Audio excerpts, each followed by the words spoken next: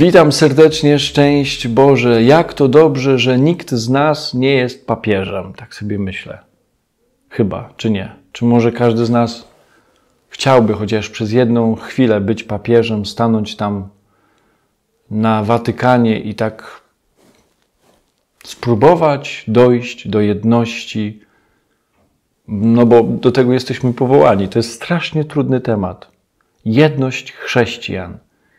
Jak to osiągnąć? E, my się coraz bardziej e, chyba dzielimy, coraz bardziej. Chcielibyśmy być w jedności, ale coraz bardziej się dzielimy. Dlaczego tak jest? Oczywiście grzech, głupota, pycha, e, brak zaufania jeden do drugiego. Brak jedności wynika z braku jednomyślności. O nie, ja nie będę myślał to, tego samego co on albo co ona. Nie, ja myślę po swojemu. I to jest właśnie największa przyczyna braku jedności. Święty Paweł mówi w pierwszym liście do Koryntian tak. Upominam was, bracia, w imię Pana naszego Jezusa Chrystusa, abyście żyli w zgodzie i by nie było wśród was rozłamów, abyście byli jednego ducha i jednej myśli. Mamy być tej samej myśli. Wołamy oczywiście do tego samego Ducha Świętego, ale niekoniecznie ten, ten jeden Duch Święty przychodzi do nas. Przyjmujemy go, żyjemy w nim. Często nie żyjemy w tym samym duchu, w tej samej myśli, nie myślimy tak samo. Każdy z nas myśli po swojemu. I czy, i czy to jest dobre? No to jest właśnie niedobre. To prowadzi do rozłamów, do kłótni. Podajmy przykład. Przykład dwóch ludzi. No bo łatwiej jest dwojgu dojść do porozumienia niż kilku milionom ludzi. No, kilkuset milionom.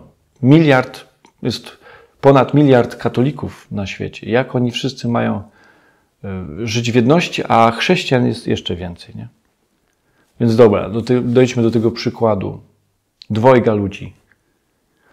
Ja, kiedy e, pracuję z kimś, idę na ewangelizację, mamy coś zrobić razem, na przykład z księdzem Rafałem, tworzymy te filmiki, to nie jest tak, że my myślimy jedno. Każdy z nas na początku miał inne patrzenie na to, jak to ma wyglądać. I mieliśmy wiele takich rozmów trudnych, kłótni, sporów, ale zawsze, mm, zawsze ja oczywiście musiałem się wycofać, bo to on jest prezesem, bo to on ma władzę nad tym dziełem, nie ja. Jestem pracownikiem ale zawsze mogę coś powiedzieć, tak? Zawsze mogę, mogę yy, powiedzieć o swoich odczuciach, pragnieniach. I jak słuchamy siebie nawzajem i zgadzamy się ze sobą yy, co do tego, jak ma ten filmik wyglądać, o czym mamy powiedzieć i tak dalej, to wiecie, że wtedy y, dochodzi do, do takiego cudu, który, y, którego autorem jest oczywiście Duch Święty, bo to Duch Święty jednoczy nas.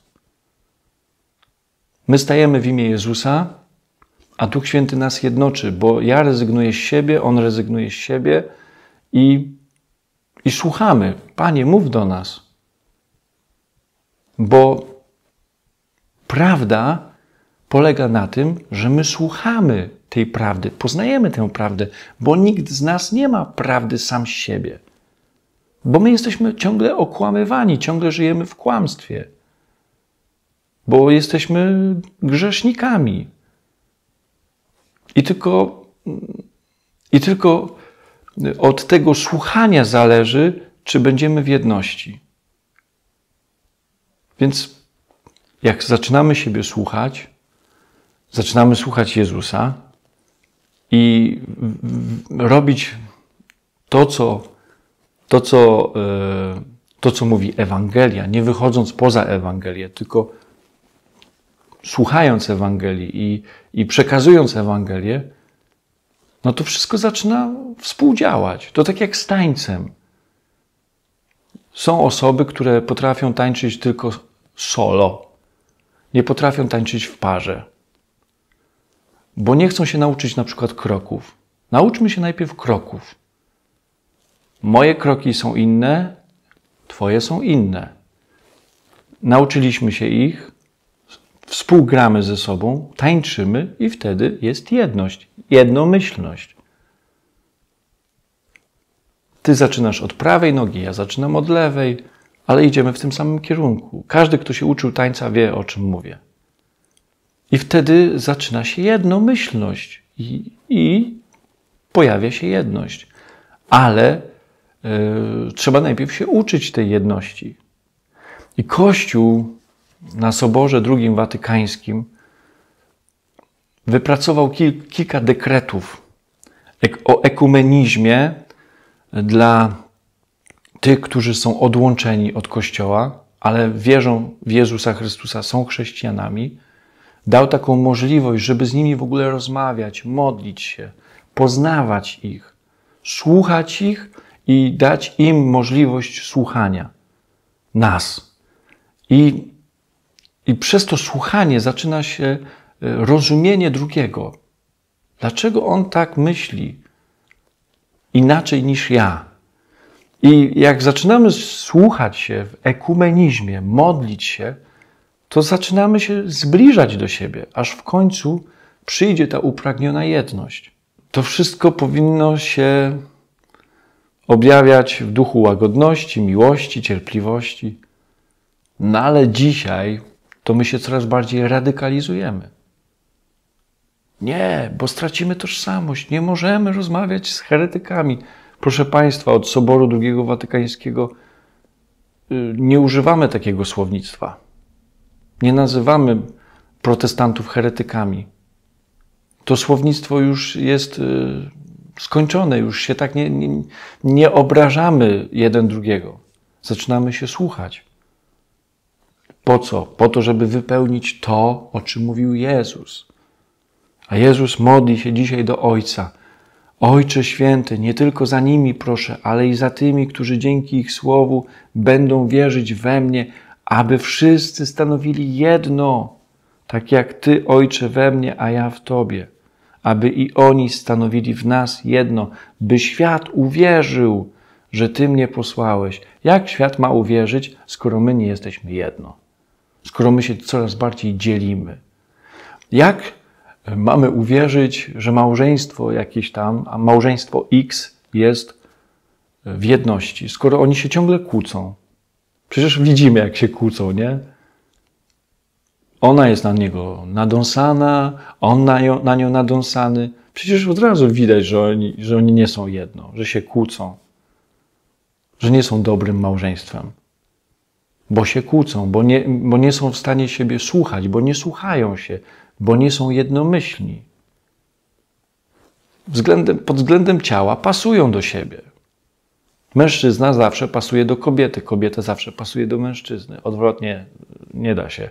Mężczyzna nie pasuje do mężczyzny i kobieta do kobiety też nie, nie pasują.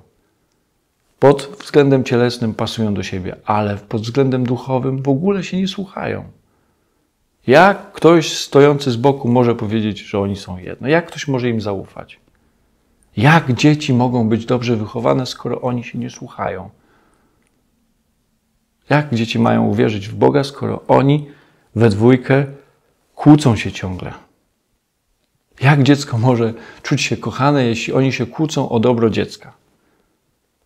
Coś tutaj jest nie tak. Nie słuchają siebie, a mogliby siebie słuchać.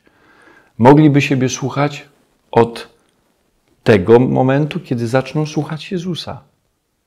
Łatwiej jest wtedy dojść do jedności. Więc słuchajmy Jezusa. Słuchając Jezusa, zaczynamy słuchać też drugiego człowieka. Bo Jezus wyznacza te granice, mówiąc, taka i taka jest miłość. Poza tymi granicami, poza przykazaniami nie ma miłości.